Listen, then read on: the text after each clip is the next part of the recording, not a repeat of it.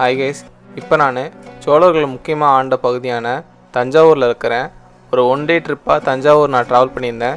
So தஞ்சாவூரில் என்னென்ன பிளேசஸ்லாம் சுற்றி பார்த்தேன் அப்படின்றது இந்த வீடியோவில் பார்க்கலாம். தஞ்சையில் சோழர்கள் ஆண்டதுக்கப்புறம் நாயகர்கள் மராத்தி சொல்லிட்டு ஆண்டிருக்காங்க. அப்படி ஒரு முக்கியமான நேரமான மராத்தி பேலஸை பற்றி நம்ம இந்த வீடியோவில் பார்க்கலாம். ஸ்டே பொறுத்த வரைக்கும் தஞ்சாவூர் பஸ் ஸ்டாண்ட் பக்கத்தில் ஒரு ஹோட்டலில் தங்கியிருந்தோம். ரெண்டு பேருக்கு பார்த்தீங்கன்னா நான் ஏசி ரூம் நைன் ஹண்ட்ரடும் ஏசி வந்து தௌசண்ட் டூ ஹண்ட்ரட் சார்ஜ் பண்ணாங்க. ரொம்பவே ஒரு ஒத்தான ரூமாக தான் இருந்துச்சு. டவலு சோப்பு சொல்லிட்டு எல்லா ஃபெசிலிட்டியுமே இருக்குது. ஹாட் வாட்டர் ஃபெசிலிட்டியுமே இருக்குது. ரெஸ்ட்டுமே நீட்டாகவே இருந்துச்சு. நான் தங்கின லொக்கேஷன் வந்து டிஸ்கிரிப்ஷனில் கொடுக்குறேன். நீங்கள் வேணால் இங்கே ஸ்டே பண்ணி பார்த்துக்குங்க. ரெஃப்ரெஷ் ஆனதுக்கப்புறம் நாங்கள் வந்து தஞ்சாவூர் மராத்தா பேலஸ் போகலான்னு சொல்லிட்டு கிளம்பிட்டோம். நாங்கள் ஆக்சுவலாக ஹோட்டல் ஸ்டே பண்ணியிருக்கிறது தஞ்சாவூர் ஓல்டு பஸ் ஸ்டாண்ட் கிட்ட தான் தஞ்சாவூர் ஓல்டு பஸ் ஸ்டாண்ட்லேருந்து இந்த மராத்தா பேலஸ்க்கு கிட்டத்தட்ட ஒரு லெஸ் தன் ஒன் கிலோமீட்டர் தான் கூகுள் மேப்பில் காமிச்சது. கூகுள் மேப்பை நம்பி நாங்களும் நடந்தே போகலாம்னு சொல்லிட்டு ஃபஸ்ட்டு போனோம். பட் நான் மேப்பை நம்பி போனது தான் ஃபஸ்ட்டு தப்பாக போச்சு. ஏன்னா வந்து பேலஸோட பேக் என்ட்ரன்ஸில் வந்து எங்களை விட்டுருச்சு. பேக் என்ட்ரன்ஸ் வழியாகவும் நம்ம பேலஸ்குள்ளே என்ட்ரி ஆகலாம். பட் அது வந்து டிக்கெட் கவுண்டர்லாம் போகணுன்னா ஃப்ரண்ட் வழியாக தான் போகணும் அப்படின்ற மாதிரி சொன்னாங்க. பேக் என்ட்ரன்ஸ்லேருந்து வியூ பார்க்குறதுக்கு நல்லாவே இருந்துச்சு. எடுத்துன்னு ஒரு ப்ளே ஏரியா இருந்துச்சு. அதுக்கப்புறம் அந்த பேலஸோட வியூ வந்து இங்கே பார்க்கறதுக்கு ரொம்ப சூப்பராகவே இருந்துச்சு. டிக்கெட் எடுக்கிறதுக்காக அகைன் வந்து பேக் என்ட்ரன்ஸ்லேருந்து ஃப்ரண்ட் என்ட்ரன்ஸ் நோக்கி நாங்கள் நடந்து போயிட்டு இருந்தோம். இந்த பேலஸோட டிக்கெட் பொறுத்த வரைக்கும் தேர்ட்டி ஃபைவ் ருபீஸ் சார்ஜ் பண்ணாங்க ஒரு ஆளுக்கு. பேலஸ்க்கு ஒரு நிறைய பில்டிங்ஸ் இருந்துச்சு. ஒரு ஒரு பில்டிங்க்கும் பத்து ரூபா இருபது சொல்லிட்டு என்ட்ரி ஃபீஸ் போட்டு மொத்தம் ஒரு ஆளுக்கு முப்பத்தஞ்சு ரூபா சார்ஜ் பண்ணுறாங்க இதிலே வந்து கேமராவுக்கு நீங்கள் எடுத்துகிட்டு போனால் தனியாக வந்து காசு கொடுக்குற மாதிரி இருக்கும். சோழர்கள் ஆண்ட பிறகு பாண்டியர்கள் அதுக்கப்புறம் நாயக்கர்கள் சொல்லிட்டு நாயக்கர்களால் கெட்டப்பட்டதான் இந்த பேலஸ் லேட்டராக நாயக்கர்கள் காலம் போனதுக்கப்புறமும் மராத்தி சாண்டிருக்காங்க ஸோ அப்போ வந்து அவங்க எக்ஸ்டெண்ட் பண்ணி யூஸ் பண்ணியிருக்காங்க. அதனால் இந்த பேலஸ் இப்போதைக்கு தஞ்சாவூர் மராத்த பேலஸ்னு சொல்கிறாங்க லைப்ரரி ஆர்ட் கேலரி தர்பார் ஹால்னு சொல்லிட்டு நிறைய பில்டிங்ஸ் இருக்குது இந்த பேலஸ்குள்ளே பார்க்குறதுக்கு அதுக்கு ஃபஸ்ட்டு நாங்கள் தர்பார் ஹால் நோக்கி வந்து போயிட்டு இருந்தோம். இப்போதைக்கு இந்த பேலஸை பொறுத்த வரைக்கும் நிறைய இடம் அழிஞ்சு போயிட்டு இப்போ வந்து கவர்மெண்ட் அதை எடுத்து ரெனோவேட் பண்ணிகிட்டு இருக்காங்க. போகிற வழியிலலாம் நிறைய இடத்துல அங்கங்க சின்ன சின்னதாக வந்து பெயிண்டிங்ஸ்லாம் பார்க்க முடியும். இந்த பெயிண்டிங்ஸ்லாம் பார்த்தீங்கன்னா மராத்தி இன்னும் ரூல் பண்ணப்போ வரைஞ்சிருக்காங்க. இப்போ நம்ம போகிற தர்பார் ஹாலும் இந்த பேலஸில் ஒரு அழிஞ்ச பகுதி தான். இப்போதைக்கு எங்களால் வந்து அந்த இடத்துல கன்ஸ்ட்ரக்ஷன் பண்ணுறதை பார்க்க முடிஞ்சது. இந்த இடத்துல தான் பார்த்தீங்கன்னா நிறைய ஈவெண்ட்ஸ் அண்ட் மியூசிக் ஷோலாம் நடக்கும் அப்படின்ற மாதிரி வந்து ஹிஸ்ட்ரியில் சொல்கிறாங்க இந்த தர்பார் ஹாலில் இருக்கிற ஸ்டேஜ் பார்த்தீங்கன்னா ஒரே கிரானைட் கல்னால் கட்டப்பட்டிருக்குது அப்படின்ற மாதிரி ஹிஸ்ட்ரியில் அங்கே போட்டிருக்காங்க. இந்த தர்பார் ஹால் பார்த்தீங்கன்னா மராத்தி கிங்டம் தான் வந்து ரெனோவேட் பண்ணி யூஸ் பண்ண ஆரம்பிச்சிருக்காங்க. தர்பார் ஹாலுக்கு பின்னாடியே ஒரு கோபுரம் இருக்குது அந்த கோபுரம் பேர் தான் கூடு கோபுரம். அது என்னன்றது டீட்டெயில்ஸ் வந்து நம்ம அந்த பிளேஸ்க்கு போனதுக்கப்புறம் போய் பார்க்கலாம். இப்போதைக்கு தர்பார் ஹால் பொறுத்த வரைக்கும் ஒரு ரினோவேஷன் மட்டும் தான் பண்ணிகிட்டு இருக்காங்க. தர்பார் ஹாலோடைய ரைட் சைடில் ஒரு வழி இருக்குது அந்த வழியில் போனீங்கன்னா ராஜா சர்ஃபோஜியோடைய நினைவிடம் இருக்குது அந்த ராஜா சர்ஃபோஜி தான் கடைசியாக ஆண்ட மராத்தி மன்னர். அவர் போர்க்காலத்தில் யூஸ் பண்ண மெட்டீரியல் சொல்லிட்டு நிறைய பொருட்களை வந்து அந்த இடத்துல வச்சுருக்காங்க.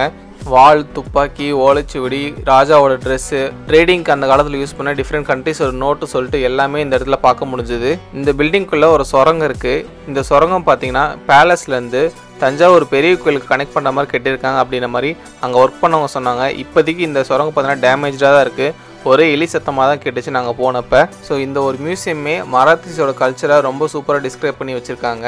நெக்ஸ்ட் நாங்கள் போனதான் Saraswathi Mahal library and museum இங்கே நிறைய கலெக்ஷன் புக்ஸ் இருக்குது. அது போக தனி மியூசியம் வச்சுருக்காங்க. மியூசியம் வந்து ஃபோட்டோகிராஃப் அலோடு இல்லை அப்படின்னு சொல்லிட்டாங்க. பல்லக்கு பெயிண்டிங்ஸு ஓலைச்சுவடியில் ராமாயண மகாபாரத கதை எழுதிருக்குது அதுக்கப்புறம் சீனர்களோட தண்டனைலாம் எப்படி இருக்கும் அப்படின்ற மாதிரிலாம் அங்கே வச்சுருந்தாங்க. ஒரு ஷார்ட் வீடியோ ஷோவுமே அங்கே அவைலபிளாக இருக்கும் போல். நாங்கள் போனப்போ அது மெயின்டெனன்ஸில் இருந்துச்சு அதனால் க்ளோஸ் பண்ணி வச்சுருக்காங்க. இந்த பேலஸில் நெக்ஸ்ட் நாங்கள் போகிற பிளேஸ் தான் ஆர்ட் கேலரி ஆர்ட் கேலரி வெளியே இருந்த பகுதி ரொம்ப கலர்ஃபுல்லாக சூப்பராக டெக்கரேட் பண்ணி வச்சிருக்காங்க. இந்த ஆர்ட் கேலரி பில்டிங்குள்ளே தான் அந்த கோடு கோபுரம் இருக்குது. அதுக்கப்புறம் நிறைய ஆர்கியாலஜிக்கல் சைட்ஸ்லேருந்து எடுத்த பொருட்களும் வச்சுருக்காங்க. இந்த பில்டிங்குள்ளே ஒரு கோயிலுமே இருக்குது சின்னதாக அந்த கோயிலில் சாமிக்கு படைச்ச பிரசாதமும் எங்களுக்கு ப்ரொவைட் பண்ணாங்க. நாங்கள் போனப்போ தான் அப்போ தான் சூடாக வந்து சக்கரை பொங்கல் தயிர் சாதம் புளியோதரம் சொல்லி கொடுத்தாங்க. மற்றபடி இந்த பிளேஸில் பார்த்தீங்கன்னா எங்கே பார்த்தாலும் நிறைய சாமி சிலையும் நிறைய முனிவர்களோட சிலையும் தான் பார்க்க முடிஞ்சது. பார்க்கறதுக்கு தஞ்சை பெரிய கோயில் மாதிரி இருக்கிற இந்த கூடு கோபுரம் நாயக்கர் ஆண்ட காலத்தில் ரெண்டு மாடி கட்டியிருக்காங்க. அவங்க வந்து ஆர்மி ட்ரைனிங்காக யூஸ் பண்ணியிருக்காங்க.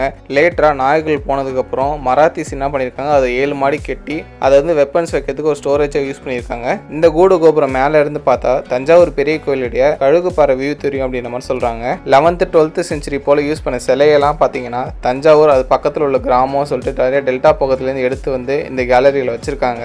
இதெல்லாம் பார்க்கறதுக்கு ரொம்ப பழமையான சிலையாகவும் அந்த பச்சை பசின்ற உள்ள பாசி படித்த மாதிரி இருக்குது. இப்போ நம்ம வந்திருக்க நாயக்கர் தர்பார் ஹாலில் ராஜா சர்ஃபோஜியோட சிலை வச்சுருக்காங்க. அந்த சிலையை சுற்றி மேலே உள்ள பெயிண்டிங்ஸ்லாம் பாருங்கள் இது ரீசெண்டாக அடித்த மாதிரி தெரிஞ்சாலும் பார்க்குறதுக்கு அவ்வளோ சூப்பராக சின்ன சின்ன செதுக்கி வச்ச மாதிரி இருக்குது ரொம்பவே சூப்பராக இருக்குது பார்க்குறதுக்கு நேரில். நெக்ஸ்ட்டு ஒரு பில்டிங் வச்சுருக்காங்க.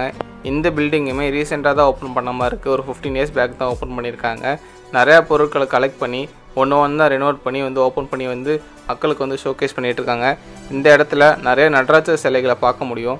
அது போக நிறைய கரன்சி காயின்ஸும் டிஃப்ரெண்ட் டைப் ஆஃப் கண்ட்ரீஸோட காயின்ஸும் பார்க்க முடிஞ்சது. எந்தெந்த சிலையை எந்தெந்த ஊர்லேருந்து எடுத்திருக்காங்க அது எவ்வளோ பழமையானது சொல்லிட்டு ஒரு ஒரு சிலை கீழே வந்து டிஸ்ப்ளே போர்டில் வச்சுருக்காங்க.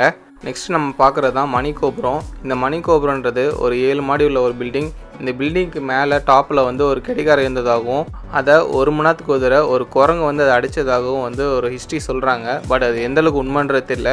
விஜயராகவா நாயக்கன்றவர் இந்த மணிக்குண்டு மேலே இருந்து ஸ்ரீரங்கம் ரங்கநாதர் கோயிலை பார்த்து ஒரு வணங்கினதாக ஒரு ஹிஸ்ட்ரி சொல்கிறாங்க மற்றபடி இப்போதைக்கு இந்த மணிக்குண்டு மேலெலாம் யாரும் அலோடு கிடையாது.